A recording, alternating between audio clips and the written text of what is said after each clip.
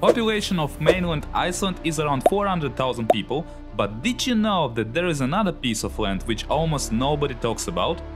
Vestmannaeyjar, a mini version of Iceland with population just a bit over 4,000 people and I used to live there. So as I come back to Iceland for a couple of days I decided to visit place I used to call home for nearly two and a half years. Early bus from Reykjavik, two and a half hours and here I am in the port waiting for the ferry towards Vestmannaeyjar.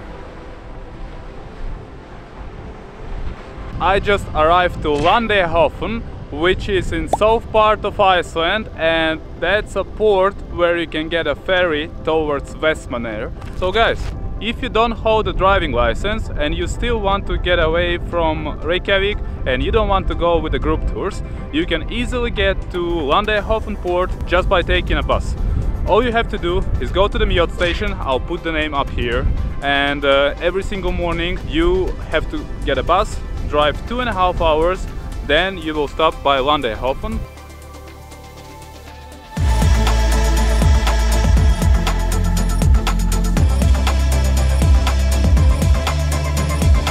I have two hours until the ferry, so I just want to go to the beach.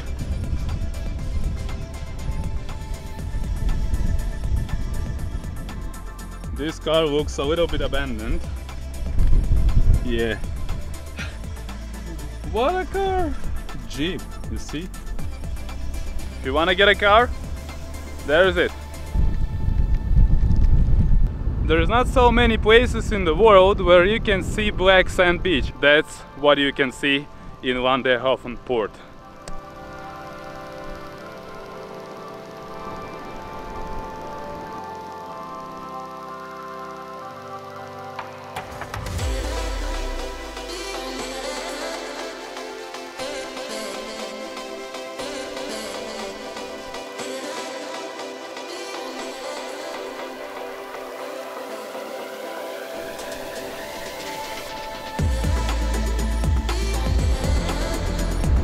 So I can see the ferry coming from Vestmannaeyjar.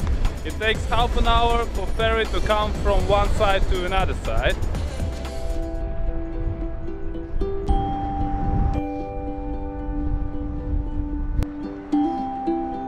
Welcome on board guys. We are on a ferry Herjólfur 3rd. Ticket price for every single person is 2000 krona, but if you live in Vestmannaeyjar, you're getting 50% off.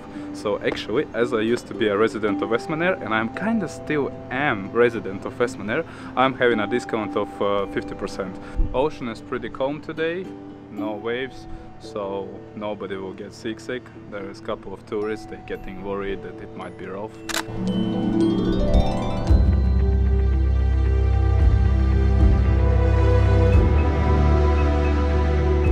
On your way you will see the Vestmannaeyjar archipelago, which consists of 16 islands, with the main one Heimaey, the rest are uninhabited.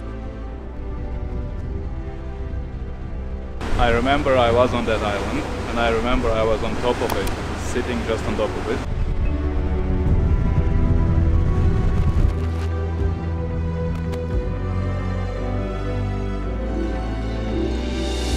Home, sweet home. Can't believe I'm again here. My place where I used to work. Actually, I will come here right now to the office to see people. Vestmannaeyjar, welcome. Welcome back to crazy Vestmannaeyjar, the little tiny island in the middle of nowhere. That's where I am again. And I used to live here two and a half years, imagine that. Prices for hostels and hotels in Vestmannaeyjar are more expensive than in Reykjavik because it's a tiny island there is not much of choice where you want to stay. So there's like a capsule hostel which is 50 US dollars per night. That's the cheapest one. Other than that from 100 US dollars per night which is pretty damn expensive. Uh, name of the mountain actually is Heimaklettur let's go and I will show you the island. On the island you will see a lot of fish factories. So that's the fish factory I used to work in. All around the island you might see some parts of the history in a frame so you can like read it. Those banners are mostly about uh, fishing history and the history of the island, how it grew up. This car is Michael's car. I think so, the only one black guy on the island. I used to come here every day and work. Hey, this. Hey. Remember? Remember me? No? Yeah. No, your name is again. I. I Eric. Ah, Eric. yeah, hi. Yeah, hi. How are you? How Oh, are you? you're good. Hey. Hi. How are you? How No. are you? How are you? Huh? Good. Fine. How are you?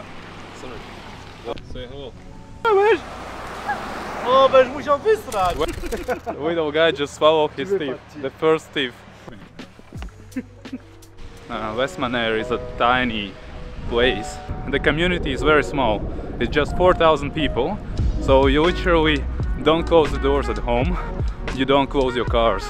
People are in the safest environment which I ever seen. This is the safest place which I ever seen.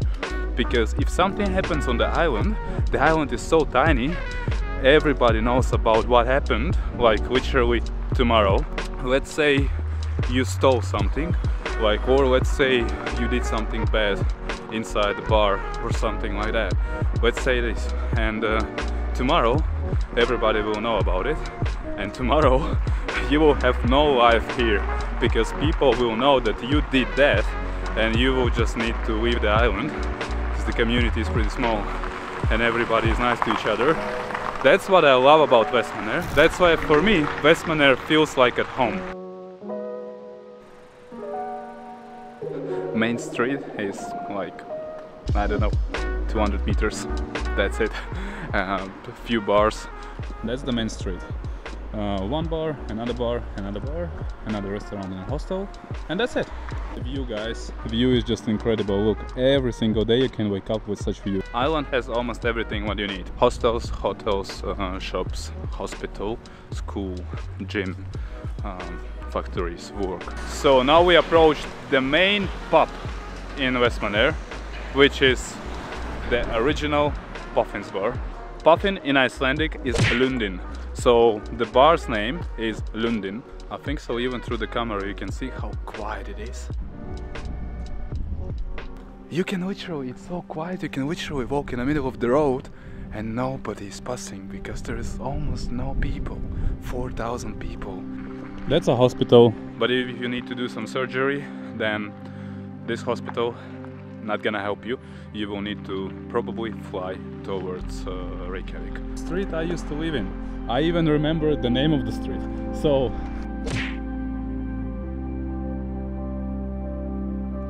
and the right way is Kirkjubæbraut. That's how Icelandic people pronounce uh, name of the street. Kirkjubæbraut, which is actually a legendary street and a legendary place. I will tell you why just right now. That's the place I used to live in. Arnar, owner of the place, he's supposed to actually come outside. So I need to say hello to him. Probably I'm gonna knock the door. Somebody's coming. The Arnar is coming. Hi. Hey! How are you? How are you? Fine and you? Good? Zachodzi? Daro. Daro. That's how it is. People all around and you know them. Oh! Best way how to explain what happened here and actually what this banner is about is uh, by owner itself telling a short story. So what happened? Ah, it was eruption. Eruption. Eruption happened in 1973. Three. In the night of 23rd of January 1973. Then just few hundred yards from here it starts and we had to evacuate all the people from the island, uh, nearly everyone. And it was around 5,000 people who left that night to the mainland. And after a while some of men came back to try to rescue what was possible. And Rescue what? The houses Oh, the hou- houses. houses and things like uh, things from the companies because the, the machines and so on, they did put them up in the mainland again to start producing. But like you see here on the picture, it was eight. Uh, this was the house, Before eruption. yes, and this man did live here then. He came after the eruption, he stand here on the roof. Ah, that's the same man. Yes, Actually, I didn't realize that when I was living here. I never saw the man here. yes, Really? That's the. So he was the owner of the house, yes, the, yes, and now he's staying on top of the house after eruption, yes. when all the ash and lava came down. And so this lava is actually from the newest eruption, which was like 40 years ago. Yes, uh, and the grass is, this is the height of the ash. This one. Yes. So this is the ash, This is the ash and lava on top. because before that you had some more houses, Yes. There. Lot of houses. lots of houses down there. So Yeah, and in this direction. how 400 crazy is that? How many houses? 400. 400 houses were located just on my back and now you see it's just a little mountain doesn't look like there is some houses but now After the eruption, it looks like this, and then uh, a Freemason lot bought it from the, go- the government. They buy all the houses. so that's uh have a Freemason uh, uh, shield. yeah, yeah, Yes, you see the Freemason hmm here. They did bought it, and you see here, here is the Freemason logo. Mhm. but now you don't have it No, I did Ring. Lodge and turn it into a residence again. Yep. And people from Europe, uh, tourists, they come here and ask me, one of many came and asked me, are you not afraid of living here? Do the government pay you to live here? And I said, no, where are you from? Germany, he said. Look, I said, last 100 years, it has been two world wars in Europe. Yeah yeah yeah Uh, you have uh, uh, terrorist attacks, you have pollution, you have nuclear plants and so on. and here is just a tiny eruption Yes, here one man have died from a eruption in last 100 years. by the way you had another eruption right now like uh, a couple of months ago in it yes, And uh, people actually waiting for some eruption close to Eleflat. yeah, yes, They're waiting for it Yes, because it happens every 100 years. No, yeah, yeah, uh, up around every 100 year.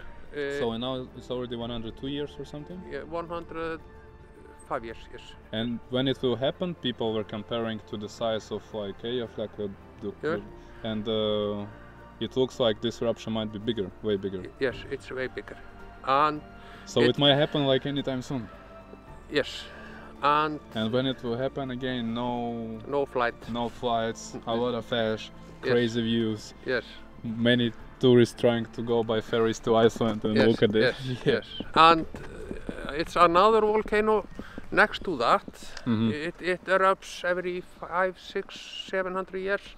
Last time it erupts, it completely destroyed whole uh, part of Iceland. Lot of people died. It's, it have same nature that volcano as Vesuvius, which destroy Pompeii. So okay, and when it erupted last time? it was 1300 So, and you said it erupts every 500, 600 years. Yeah, five, six, seven hundred. So years. it might erupt again Yes, soon. yes. And So we might live in a pretty interesting decade, I would yes, say. but It might be interesting years But- happening in Iceland. but all the time you could not fly in Europe. Yeah. We could fly Away. every day to this island. Even the volcano is 20 kilometers from here. And the still flights will be from Westmannaeyjar to Reykjavik? Yes, Uh-huh. because they are so powerful. The ash goes up to 10, 15,000 feet, and nearly no ash here. It all blown Goes to, away. to, to the higher winds. Yeah, yeah, Yes, yeah. yes. Yeah. That's why people were telling, I think so, flights in in between Iceland and everything when in 2010 eruption Yes. happened. Flights here were happening, everything was fine, Yes. but it, it just like in Europe was closed. Yes, yes, because So the- you will the- fuck the- up the Europe yes, again. the, the ash was smelling. we have good life here. yeah. 1890, it was big eruption here. Mm-hmm. and it was so much ash in the in the the sky, sky, yeah. uh, it get colder in Europe. I think two or three degrees colder. So it was no crop, no no no food for No the vegetables, people. yeah, probably. Yes. Uh-huh. So the the French Revolution start after that because people were starving. So we start revolutions here also. Crazy. Mr. Arnar knows a lot about history of Iceland and things which happened here in the Iceland, in Westmannair, in Heimaey, everywhere. He's the guy. He's the guy. Yeah. See you. See you, Diane. We're gonna go further right now. It was actually so nice meeting my my old friend because he is not just my landlord. He is actually my friend. So it was so nice meeting him, and uh, yeah. So that's where I used to live. Such an incredible place, Westmannair is. Life is good, guys. Life is good. That's another volcano which erupted a long, long time ago. Fuck! My ferry is arriving! Oh my god! I need to run! I'm here!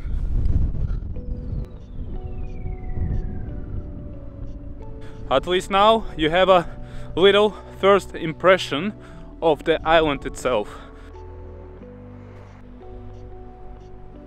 I used to call this island a little mini version of Iceland. It has almost everything apart of waterfalls. Other than that, they have everything. They have moss, they have lupins, they have volcanoes, active volcanoes. They have almost fjords, mountains, cliffs, puffins, Icelandic weather. They have everything. Like, and the life is actually cheaper, and economy is better here. It's still part of Iceland, but it's a little little community. That's why everything is so good here. Can you can you guess what's that? So this, This used to be a swimming pool, you see, and you see lava. full of lava. Yeah. So let's come up here and see. That's how it looked before. Now it's just part of the memory. This is the only one and the first one black church in Iceland. The church was gifted by Norwegian authorities in memory of 1000 years of Christianity, so it was gifted to Iceland. As I used to live here before, I did explore touristic bits of the island back in the days and I have some footage from it as well, so if you would love to see, just leave your comments down below and I might make a specific video showing the most beautiful places around Westmannair. But for this episode, that's all I got. It was mainly to showcase the local life of Icelanders and hear some stories. So I'm saying goodbye to Iceland for now and I'm flying back to my country for a couple of days. Next time I will show you for sure a lot more of Iceland, but for now that's it. Subscribe to the channel, like this video and I see you in the next one. Bye!